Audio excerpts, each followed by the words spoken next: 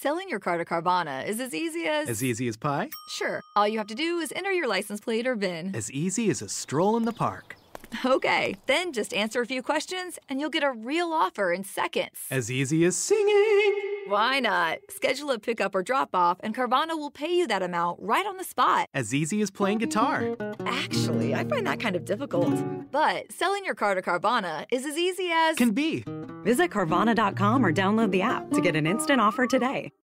This is Spacetime Series 20, Episode 67, for broadcast on the 25th of August 2017. Spacetime is brought to you in collaboration with Australian Sky and Telescope magazine, your window on the universe. You can download Spacetime as a free twice weekly podcast just about everywhere, including iTunes, Stitcher, Pocket Casts, Bitesz.com, SoundCloud, YouTube, Audio Boom, direct from spacetimewithstuartgary.com, or from your favorite podcast download provider. Spacetime is also broadcast coast to coast across the United States on Science 360 Radio by the National Science Foundation in Washington, D.C., around the world through TuneIn Radio, coming up on Spacetime. Diamonds raining on Neptune and Uranus, large distant comets more common than previously thought, and the impact winter from the dinosaur killing asteroid could have thrust Earth into two years of darkness. All that and more coming up on Spacetime. Welcome to Space Time with Stuart Gary.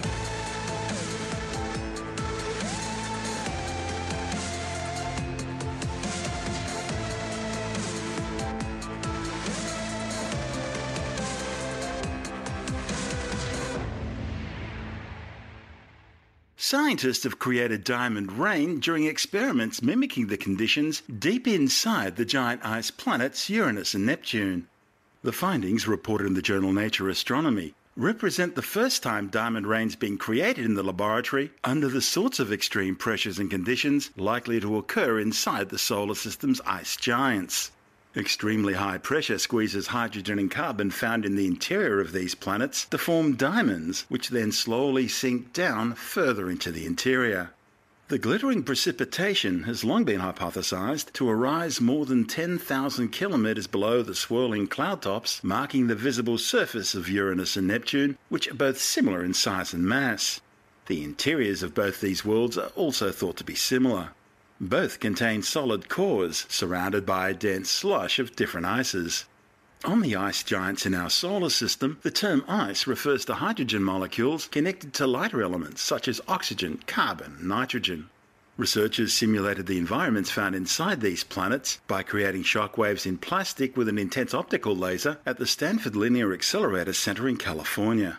In the experiment, the authors were able to see that nearly every carbon atom in the original plastic was incorporated into small diamond structures up to a few nanometers wide.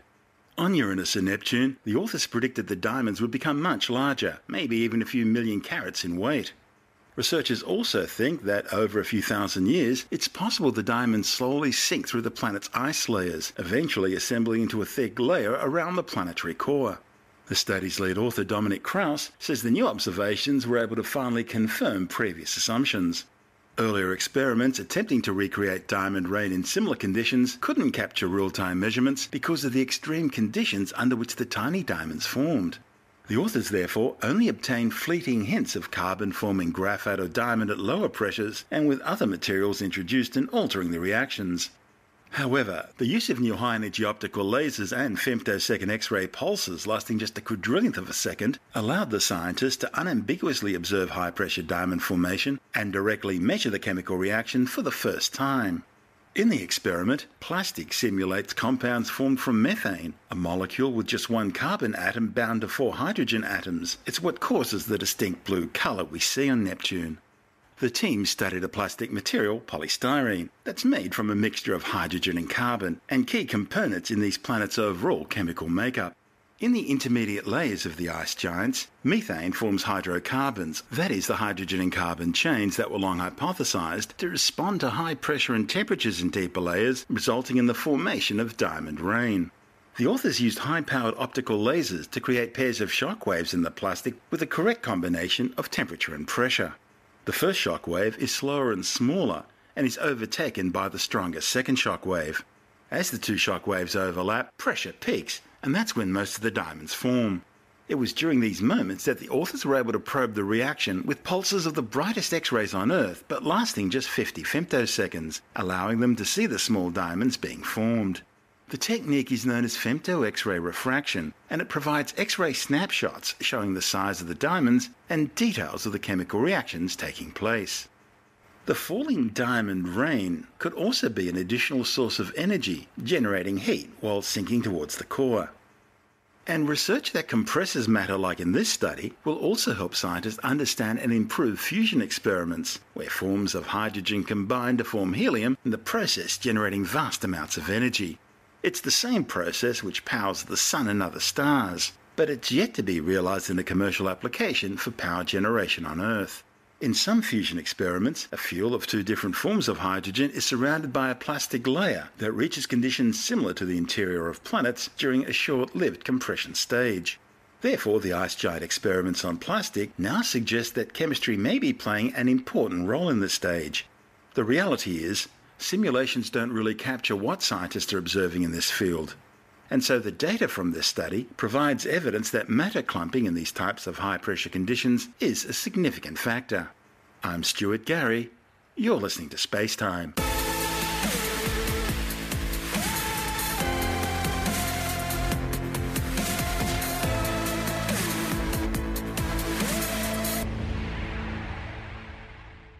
A new study has warned that there are far more large long period comets out there than previously thought. The findings reported in the Astronomical Journal are based on observations by WISE, NASA's Wide Field Infrared Survey Explorer spacecraft. Comets are icy bodies that usually orbit the Sun on highly elongated orbits, swooping in from the dark outer reaches of the solar system beyond Jupiter before swinging around the Sun and shooting back out again.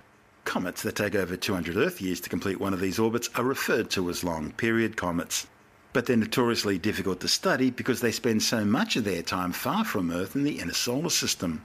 In fact, many long period comets will never approach the inner solar system, quietly spending their lives out beyond Neptune among the frozen debris and icy worlds of the Kuiper Belt, where so called trans Neptunian objects like Pluto reside. Most comets are thought to be the leftover building material from the construction of the solar system 4.6 billion years ago, while others are likely interstellar bodies caught up in the Sun's gravitational field, and now travelling through the galaxy with the solar system.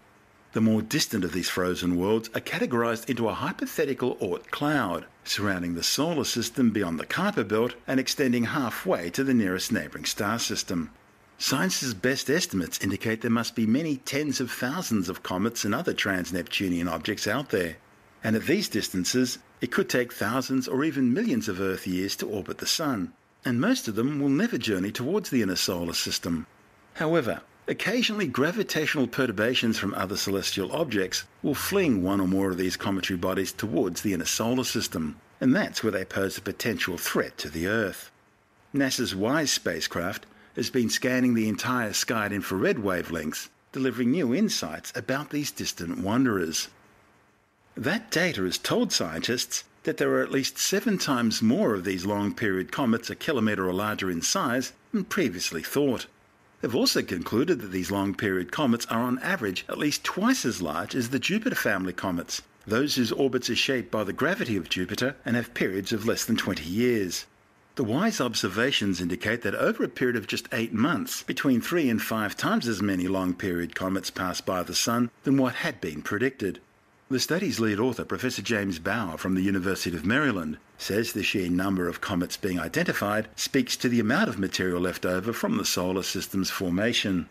Bauer says the new observations mean there are far more relatively large chunks of ancient material coming from the Oort cloud than previously thought. Now, if it really exists, the Oort cloud would be far too distant and sparsely populated to be seen by current telescopes the density of comets within it would be low, so the odds of comets actually colliding within it are fairly rare. That's why seeing as many comets as we are seeing says volumes as to the amount of comets that must be out there. The long period comets that WISE has observed probably got kicked out of the Oort cloud millions of years ago. The observations were carried out during the spacecraft's primary mission before it was renamed NEOWISE and reactivated to target near Earth objects or NEOs, asteroids and comets which pose a significant threat to the Earth. Study co-author and principal investigator for the NEOWISE mission, Amy Mainzer from NASA's Jet Propulsion Laboratory in Pasadena, California, says the new study provides a rare look at objects perturbed out of the Oort cloud. She says these objects are the most pristine examples of what the solar system was like when it formed. Astronomers already had fairly broad estimates of how many long period and Jupiter family comets are in the solar system, but they had no good way of measuring the sizes of long period comets. That's because a comet has a coma, a cloud of gas and dust that appears hazy in images and obscures the cometary nucleus. But by using the WISE data, which shows the infrared glow of this coma, scientists were able to subtract the coma from the overall comet and therefore estimate the nucleus sizes of these bodies. The data is based on 2010 WISE observations of 95 Jupiter family comets and 56 long period comets. The results reinforce the idea that comets which pass the Sun more often tend to be a lot smaller than those spending more time away from the Sun. That's because Jupiter family comets tend to be heated more. That's because they get closer to the Sun where it's warmer, and that causes their more volatile materials, such as water, to sublimate, in the process dragging away other material from the comet's surface. The new results confirm an evolutionary difference between Jupiter family and long period comets. The existence of so many more long period comets than what's predicted suggests there must have been many more of them out there that are likely to have impacted planets, in the process delivering icy materials from the outer reaches of the solar system. Researchers also found clustering in the orbits of the long period comets they studied, and that suggests there could have been larger bodies which broke apart to form these groups. The results are important for assessing the likelihood of comets impacting not just other planets in the solar system, more importantly, the likelihood of them impacting the Earth. You see, comets travel much faster than asteroids, and we now know they often have much higher masses. And basic physics tells us that mass times acceleration equals force. The new findings will therefore help scientists better understand the kinds of danger long period comets may pose. To find out more, Andrew Dunkley is speaking with Dr. Fred Watson from the Australian Astronomical Observatory. Now they think uh, some comets are bigger than we originally thought. That's scary in itself, and we'll need Bruce Willis yet again. And there are more of them. How so? So, yes, new observations by uh, uh, actually an infrared satellite, a, a, NASA spacecraft, which has the rather elegant name of WISE. Basically, it's a, an infrared space telescope, and by infrared we mean telescope that looks at light that is redder than red, which is really heat radiation. So, the great thing about the WISE spacecraft is that it can look at the whole sky. So, it is very much a survey explorer, one that surveys its vicinity and counts the numbers of objects, or at least you, you, do by computer when that's all returned back to Earth. And what they've done is they've measured more comets than they expected to. Mm. Why can you see comets with infrared? Well, comets actually show up quite well in the infrared, even though they are cold, icy bodies. Uh, a comet nucleus, which is the bit that sort of moves in orbit, is a few kilometers across. It's basically like a flying snowdrift with a lot of muck and dirt in it, which is the raw material from which our solar system was built 4.6 billion years ago. They actually are able to see these things very well with WISE. It's tuned perfectly to this kind of object. And what the scientists, once again from the United States, have discovered is that there are about seven times as many comets over about a kilometre across. And these are what are called long period comets. And I'll explain that in a minute. There are about seven times as many of them as we thought there were. And oh, that's the, the great the, the great value of, of, a survey instrument because it lets you count how many things there are. Yeah. And well, we now know there's, there's seven times more. So a long period comet, the period is the length of time it takes to go all the way around the sun. And we call anything that takes less than 200 years a short period comet. Like Halley's. So yeah, Halley is a short period comet. That's right. So once every 76 years. So once every 200 years is the distinction between long period and short period. The long period comets are ones that we believe come from this hypothetical cloud of comets, which exists way, way out in the depths of the solar system. The distance is such that you can actually measure it in terms of the fraction of a light year oh, uh, to the to the uh, edge of the Oort cloud. It was it is called that because it was proposed back in, I think, 1950 by Jan Oort, a great Dutch astronomer. And he said, well, you know, where do comets come from? Comets that come in with uh, orbits that are so stretched out, they must be coming from a very long way away. And he postulated the existence of the cloud, and that is still the accepted theory for where comets come from. Well, well Fred, he ought to know. Oh, you ought to know. That's right. Oh, boom, boom. Someone had to say it. I think you ought not to have said it, actually. so, yeah, the, the Oort cloud, the source of long period comets. So, what we think happens is that there's this shell of comets around the sun at this very great distance, best part of a light year or half a light year, something like that. And as the sun goes round in its orbit around the center of the, the galaxy, that cloud is disturbed slightly, and that makes comets plummet in towards the inner solar system. So they appear as a long period comet. And then we believe they are often dynamically affected by the mass of Jupiter. Jupiter's a very massive object. Mm. And so Jupiter tends to pull them into a much shorter period. And that's where how we think the short period comets come about. So Jupiter's influence in all this is very, very significant. But the new bit of this story is, as I've said, it's the fact that the long period comets seem to exist in much larger numbers than we thought. And they're bigger as well. They are more than a kilometre or so across. We used to think they were rather smaller than that. Planet um, killers. Well, they could be. They, they they could be ocean builders because one theory about where the oceans on the Earth came from is from bombardment by comets in mm. the Earth's early history. Could be. So yeah. So you say there are seven times more of these than we thought. Seven times how much? Uh, yes, seven times a few. Um, look, it's that is essentially the surprise of this research. I can bring up the paper actually. That mm. uh, well, if it's seven times a hundred, seven hundred, that sounds manageable. But if there's like a million of them that we know of, yeah, seven well, times as many.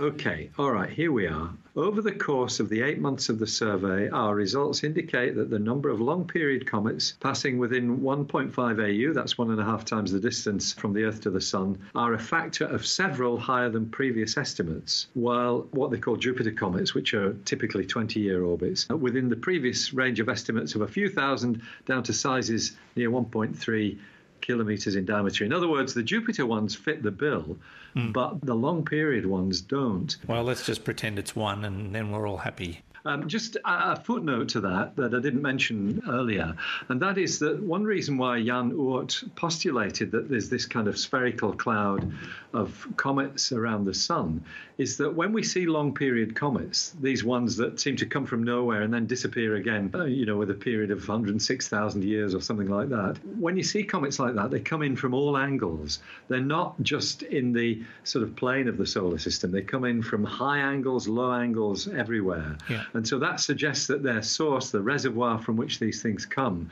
is actually a spherical cloud. Mm. Uh, and that's uh, what we still believe today, as I said, postulated by Jan Oort back in uh, about 1950. That's Dr. Fred Watson from the Australian Astronomical Observatory speaking with Andrew Dunkley on our sister program, Space Nuts. And this is Space Time. I'm Stuart Gary.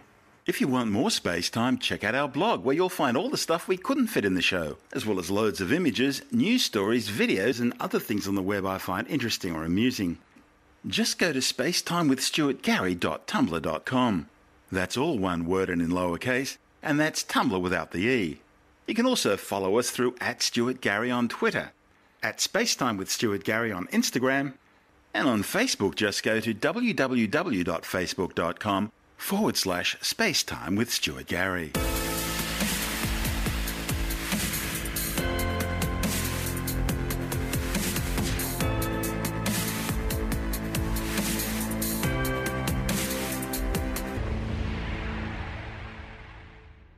Study claims that tremendous amounts of soot lofted into the air from global wildfires following the asteroid impact which wiped out all the non avian dinosaurs would have plunged the Earth into darkness for nearly two years.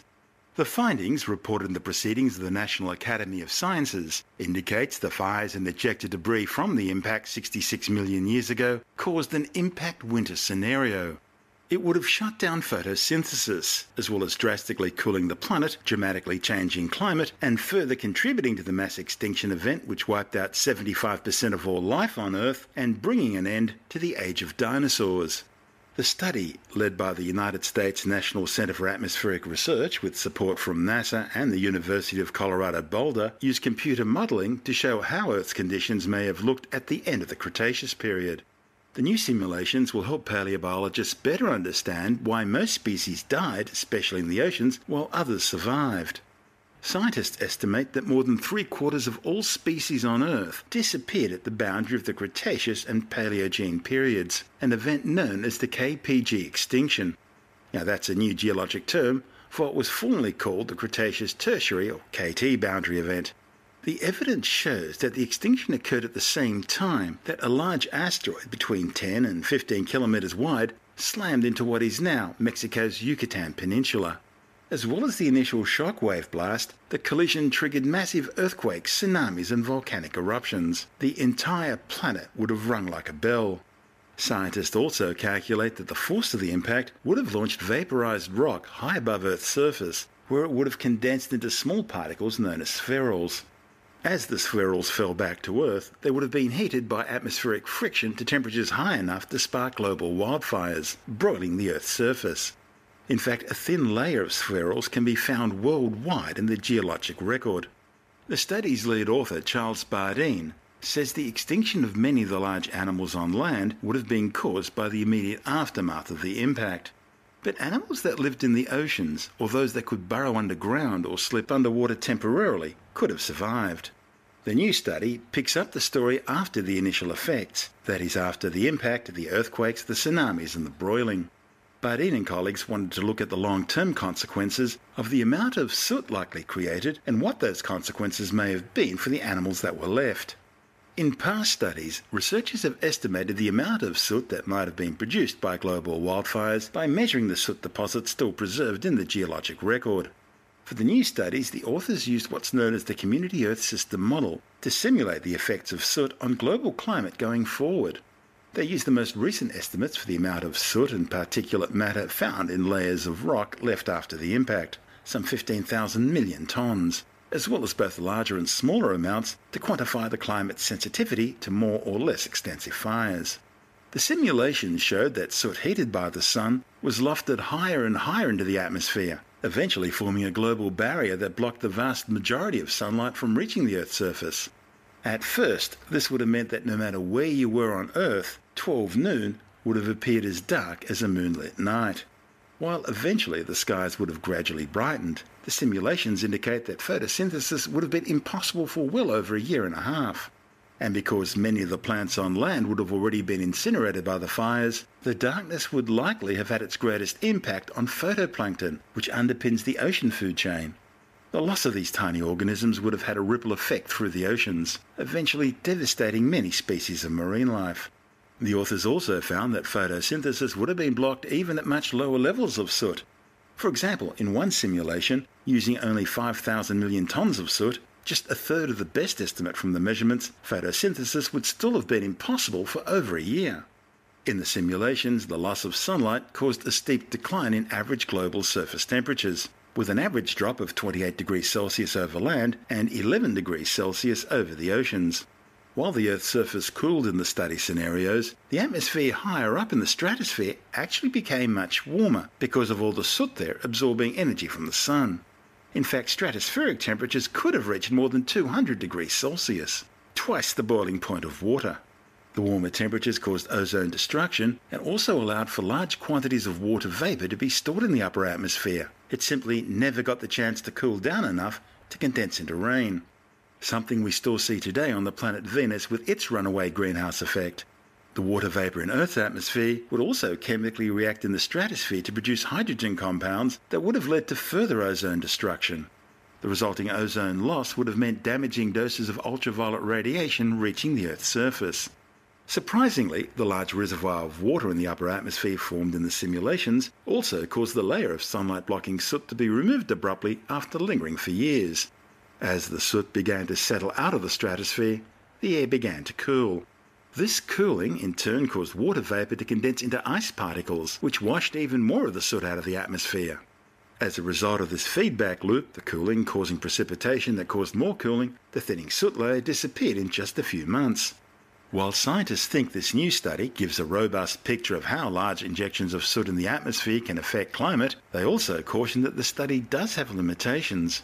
For example, the simulations were run using a model of the modern day Earth, not a model representing what the Earth would have been like during the Cretaceous, when the continents were in different locations. Also, the atmosphere 66 million years ago contained different concentrations of gases, including far higher levels of carbon dioxide although thanks to global warming by man-made greenhouse gases, we're heading back in that direction now. Additionally, the simulations didn't try to account for the volcanic eruptions from the Deccan Traps, which were triggered by the asteroid impact. Nor did it account for the sulfur released from the Earth's crust at the site of the asteroid impact, which resulted in an increase in light reflecting sulfate aerosols in the atmosphere, followed by intense acid rains. Mind you, the data obtained in these new simulations have lots of uses in areas far beyond that of asteroid impact studies. As well as modelling the effects of an impact winter from asteroids, the models are also providing scientists with a preview of what a nuclear winter would likely bring following a major nuclear war. Like global wildfires millions of years ago, the detonation of thermonuclear weapons will also inject huge amounts of soot into the atmosphere, which will also lead to a temporary global cooling. However, Bardeen says the amount of soot created by nuclear warfare would be much less than what was created during the KPG boundary event. But the soot would still affect climate in similar ways, cooling the surface and heating the upper atmosphere with potentially equally devastating effects. And of course, then there's the massive issue of radiation from all that nuclear fallout. You're listening to Space Time. I'm Stuart Gary.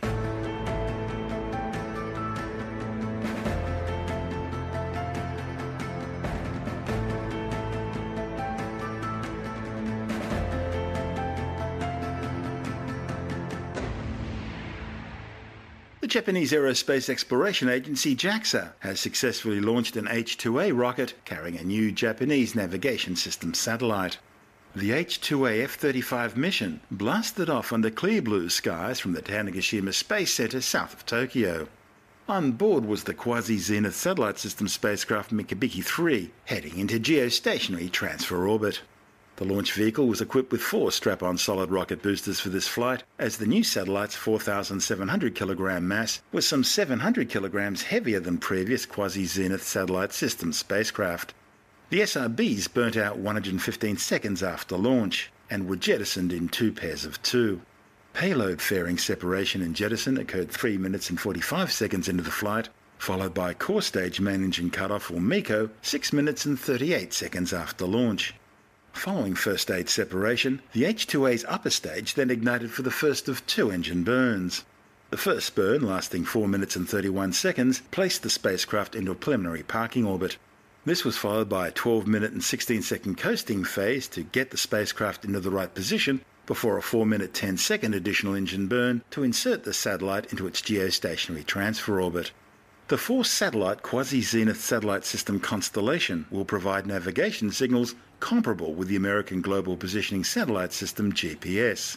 The improved coverage is designed to increase services in Japanese city environments where tall buildings often block out existing GPS signals. The extra mass on the latest satellite is due to the installation of two additional transponders for Japan's S band emergency civil defense broadcasts. The launch was the fourth H2A flight this year and the fifth overall Japanese launch for 2017. Back in January, JAXA unsuccessfully attempted to place the Tricom 1 satellite into orbit using a modified SS 520 sounding rocket. Tokyo's next launch is slated for October, when another H2A will carry the final quasi zenith satellite system spacecraft into orbit. I'm Stuart Gary. You're listening to Space Time.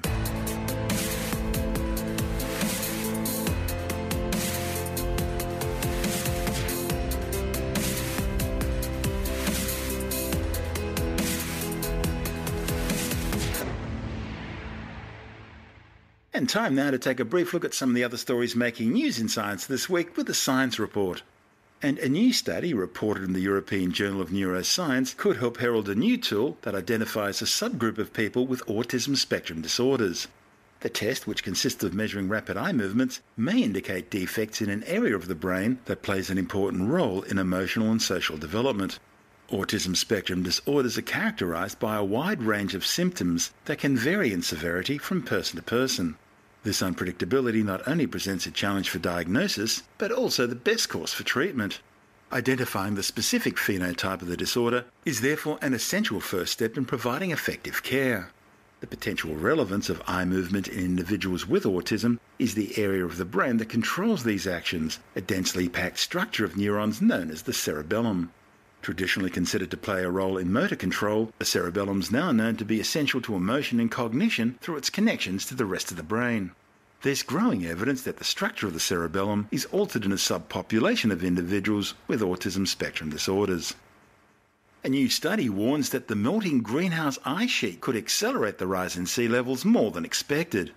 Scientists at Bristol University say the warmer conditions are encouraging increased algal growth, which in turn is darkening the surface.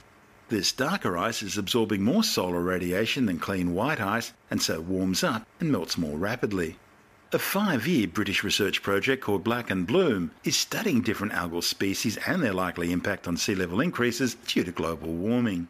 The melting of the Greenland ice sheet due to man made climate change is already adding almost a millimetre a year to global increases in sea levels. Greenland is the largest mass of ice in the Northern Hemisphere, covering an area about seven times the size of the United Kingdom and reaching up to three kilometres thick. Were Greenland's ice sheets to melt completely, they would increase global sea levels by up to 7 metres or 20 feet.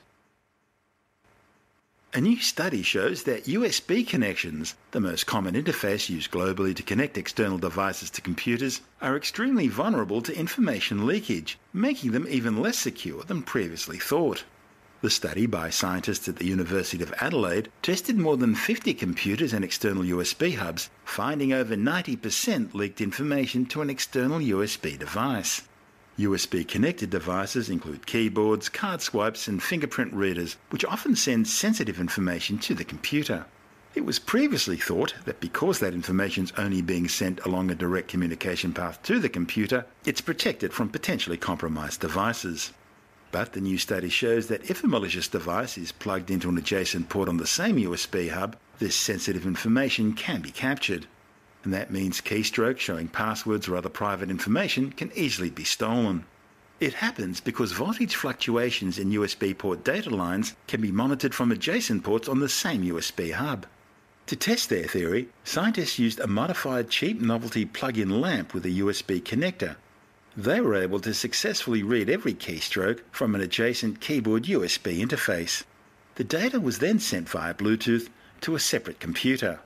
The main take home message from the study is that you shouldn't connect anything to a USB unless you can fully trust it.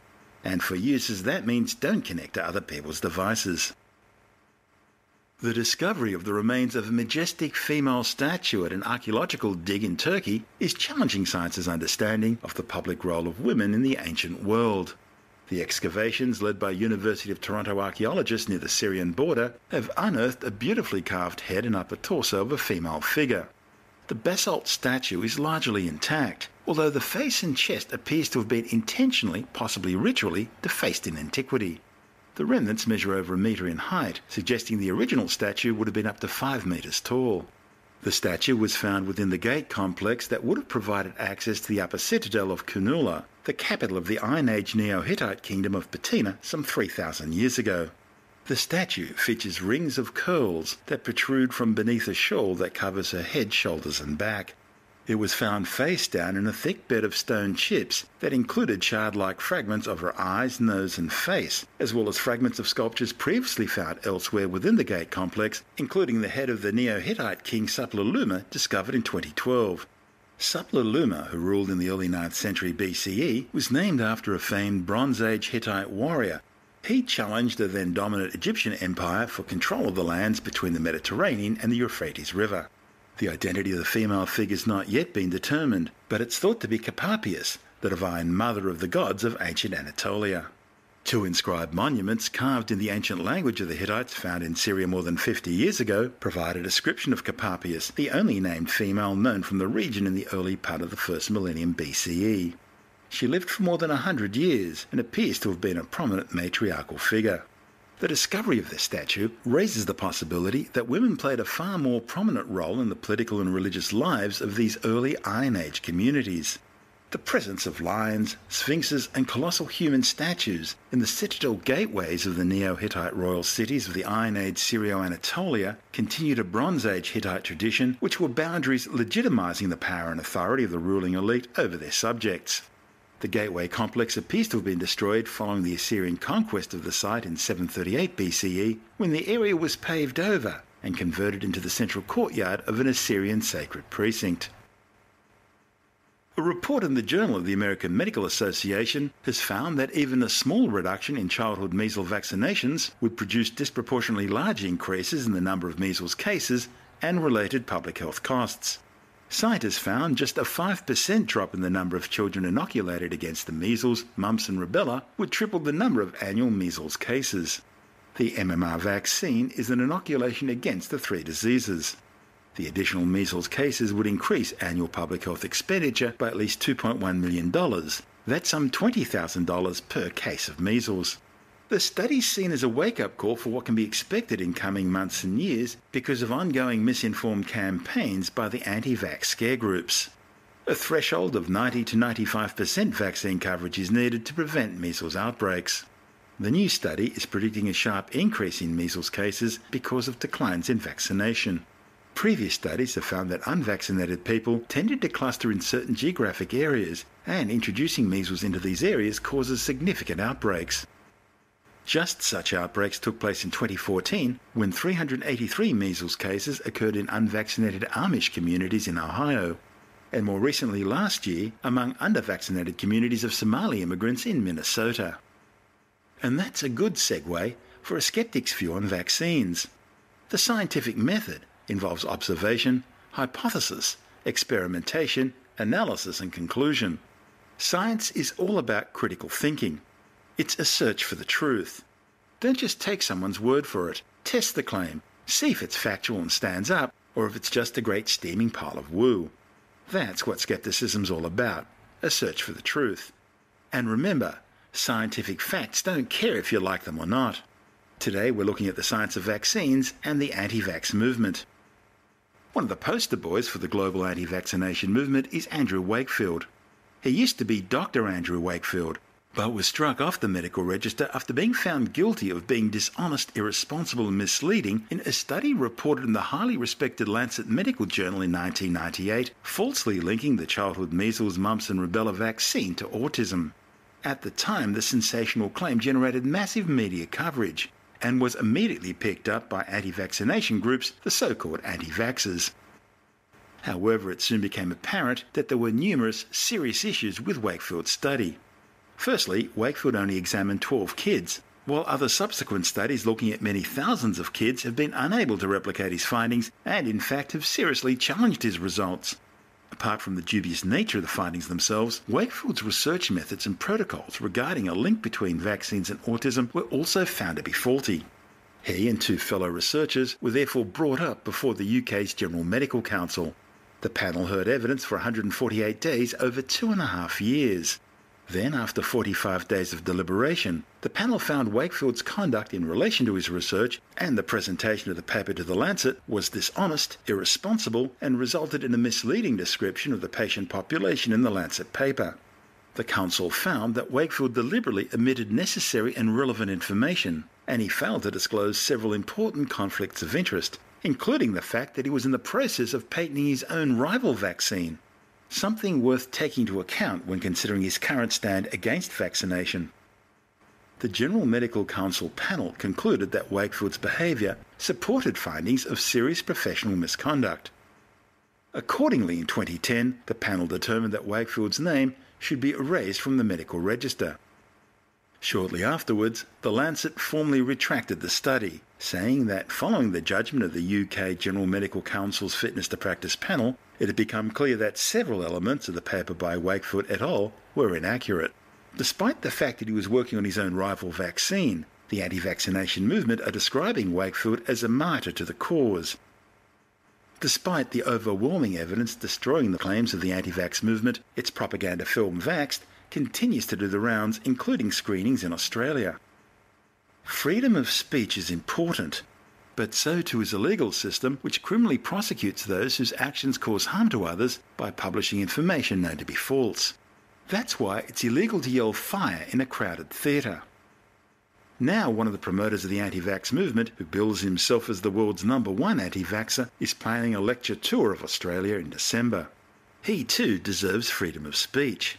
But he should also be held responsible for any non vaccinated child who dies or becomes seriously ill as a direct result of the advice he gives. Meanwhile, on a separate matter, health authorities have now confirmed a third case of measles in a student from the Perth Waldorf School, which has a notoriously low rate of vaccinations. Free on site vaccinations have now been given to students. And the school's principal has resigned as it was revealed that he stood as a candidate for the 2014 Victorian state elections on an anti vaccination platform.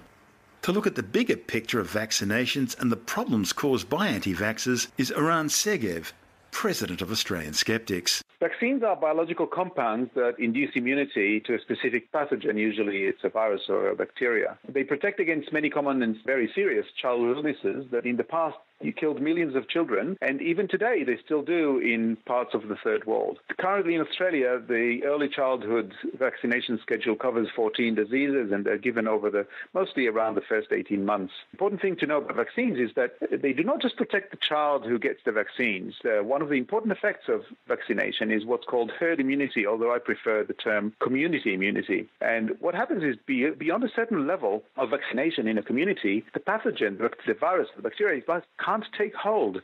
And that means people being vaccinated protects those around them who are not vaccinated. So there are people who, for example, cannot be vaccinated because they're either too young or they're ill or they could be immunocompromised. For example, they could be receiving chemotherapy or something like that. And they can't be individually protected, but they're protected by the community around them.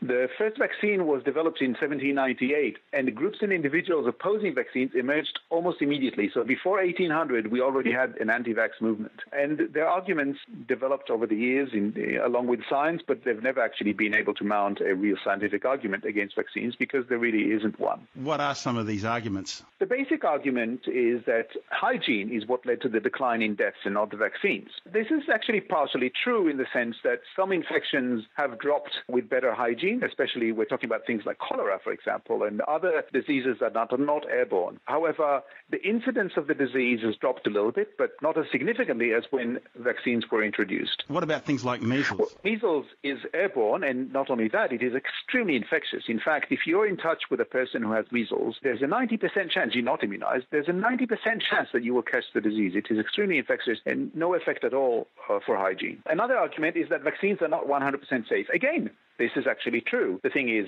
it is impossible to achieve 100% safety in any medical intervention.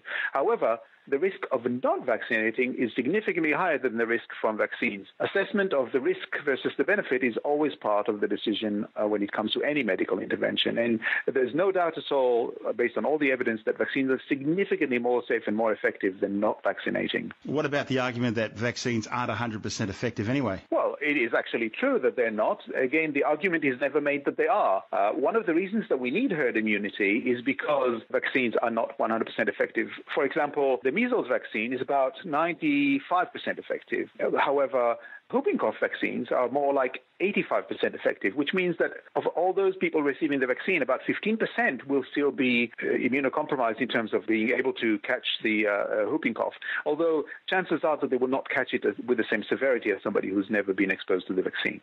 Vaccines contain a very specific and very small number of antigens. Antigens are the, the, things that cause the immune system to react. Anybody who's ever had a child knows that children put things in their mouths and they're exposed to a lot of different things all the time. In fact, an average child, not a particularly dirty child, not in a, in a, in a hygienic environment, will be exposed typically to dozens or hundreds of antigens every day. I used to love sharing ice cream with a dog, apparently. Absolutely. Well, that's what children do. Children are exposed to hundreds of antigens every day. The amount of antigens that they're exposed to through the vaccine program is minuscule as compared to what they're exposed to naturally. Now, one of the other arguments that the anti-vaxxers have concerns the actual testing of vaccines themselves. I would have thought that testing standards would be incredibly high, would be incredibly difficult to get anything through the Therapeutic and Drug Administration. That is true. The thing is, the arguments are not meant to make sense. They're meant to attack vaccines. So the argument generally that anti-vaxxers make make around vaccines is they're not tested using what is considered the gold standard in these kind of tests, in clinical tests, which is the randomized controlled trials. In randomized controlled trials, you give some of the people in the study, you give them the medication, and another group of people you give placebo. The thing is, with what we know about vaccines now in terms of effectiveness and safety, it would be completely unethical to give placebo to part of a group of children. So it is we no longer do placebo-controlled trials for vaccines. However, what we do is we test them for safety. The vaccines are tested for safety in a small groups and then in larger groups to make sure that they do not affect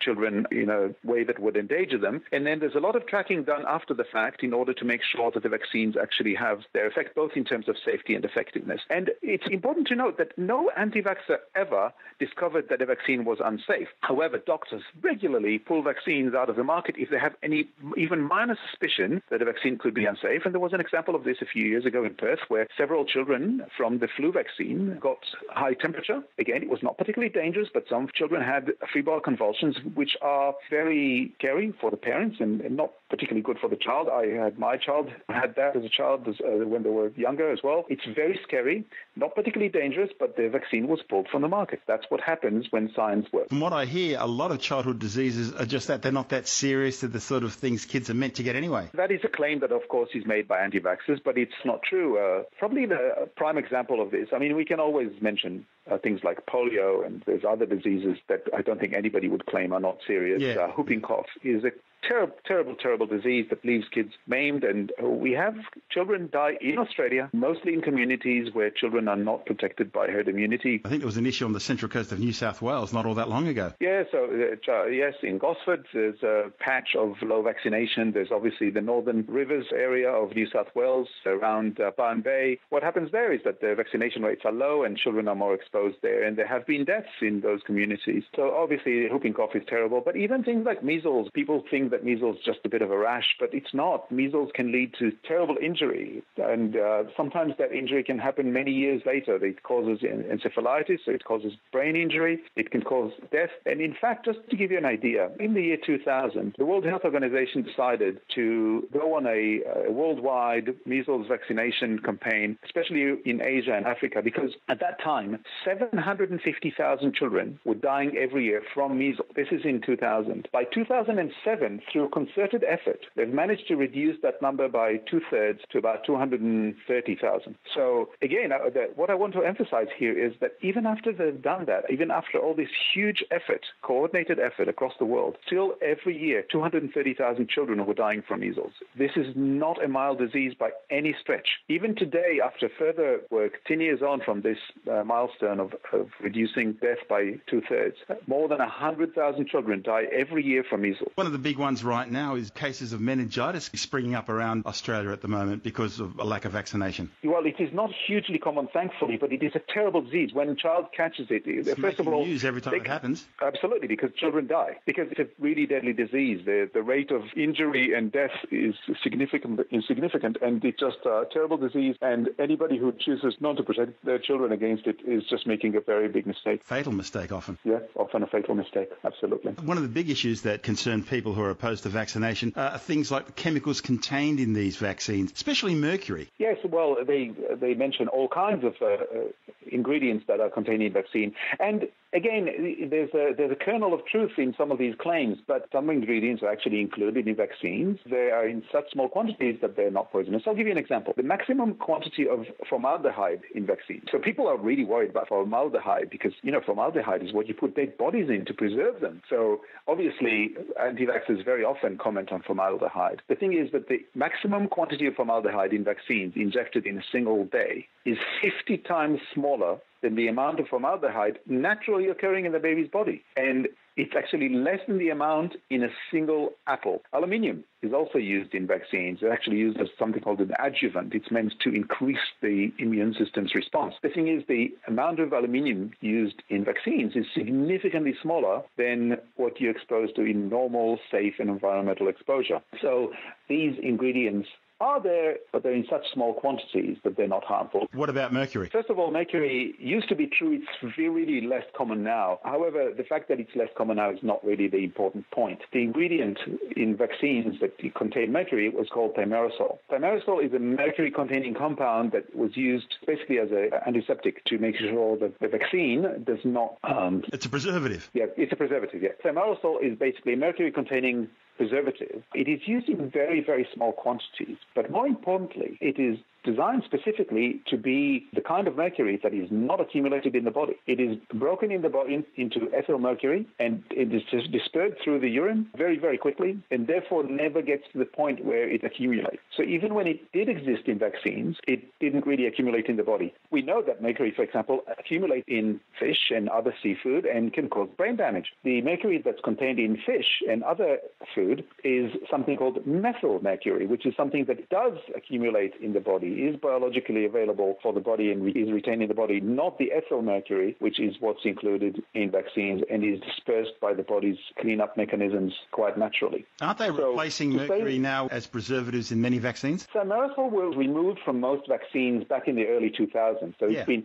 it's been almost 20 years now that it's very rare. Thimerosal is still included in some flu vaccines, but even then, for people who don't want it, there, there are thimerosal-free vaccines. Again, I would not hesitate to take a vaccine with thimerosal, but for those who want a vaccine without thimerosal, it is available. But the thing is, with these vaccine disinformation groups, they still maintain mercury's there. They, they still claim that a lot of these chemicals, which they like to talk about, a lot of the heavy metals and that, they're still a problem. And even if they know they're not an issue, they're still talking about them as if they're still there and still pose a threat. And that is part of the game. They are against vaccines. The arguments will shift. The position will not. So, for example, you've probably heard the claim, probably the biggest claim against vaccines is that they cause autism. Oh, yeah, the Andrew uh, Wakefield claim. Yes, the thing is that it used to be that vaccines cause autism because of mercury, but it's been 17 years since mercury was removed from vaccines. Now the claim instead is that something else. It's the vaccine load. It's all kinds of other things. It's the formaldehyde that causes it. The goalpost keeps shifting. The arguments keep changing, and in the end, it's always there's always something wrong with vaccines.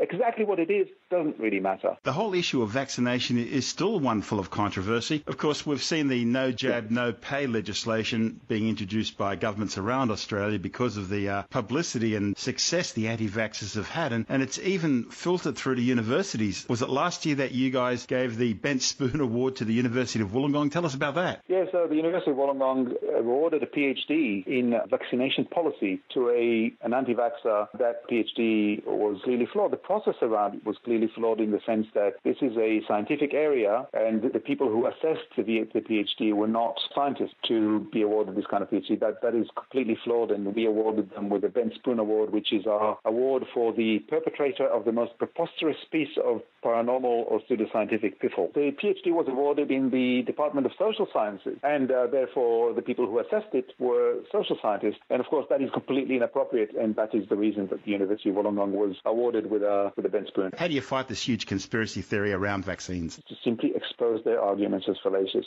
and tell people to not take their cues from me or from you or from non-government organizations that present themselves as a vaccine watchdog. Simply go to their doctors, go to their GPs, and get the best advice. That's Eran Segev, President of Australian Skeptics. And you're listening to Space Time. I'm Stuart Gary.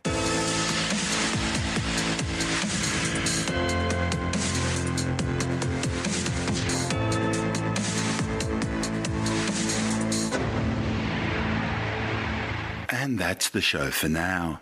You can subscribe and download Space Time as a free twice weekly podcast through iTunes, Stitcher, Bitesz.com, Pocket Casts, SoundCloud, YouTube, Audio Boom, your favorite podcast download provider, or direct from spacetimewithstuartgary.com. The show's also broadcast coast to coast across the United States on Science 360 Radio by the National Science Foundation in Washington, D.C around the world on TuneIn Radio and as part of Virgin Australia's in flight entertainment.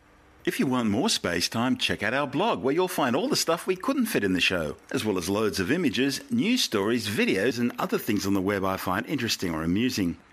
Just go to spacetimewithstuartgary.tumblr.com. That's all one word and in lowercase, and that's Tumblr without the E. You can also follow us through at Stuart Gary on Twitter, at Spacetime with Stuart Gary on Instagram, And on Facebook, just go to www.facebook.com forward slash spacetime with Stuart Gary. Spacetime is brought to you in collaboration with Australian Sky and Telescope magazine, your window on the universe. You've been listening to Spacetime with Stuart Gary.